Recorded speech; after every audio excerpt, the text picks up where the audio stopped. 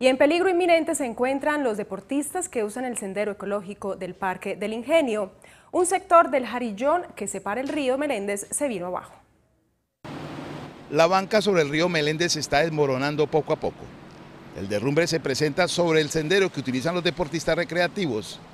Esta ruta es usada con regularidad, pues hace parte del circuito que bordea el Parque del Ingenio al sur de Cali. Es un peligro para todos los atletas que hacemos parte de este parque, ya que es un sendero que usamos mucho para nuestra actividad deportiva. Quienes transitan por el sendero aseguran que en la noche se torna más peligroso, pues la iluminación del parque en este sector no es la mejor. Acá hay muy, muy poca iluminación. Incluso esta semana casi me voy ahí, ya porque ya tengo conocimiento, entonces, pero ya venía más.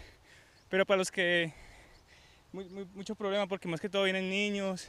Quienes conocen el sector dicen además que el río podría seguir socavando el sendero que hace las veces de Jarillón. Y si eh, se sigue debilitando como estamos en época de invierno, se puede salir a inundar todo el ingenio.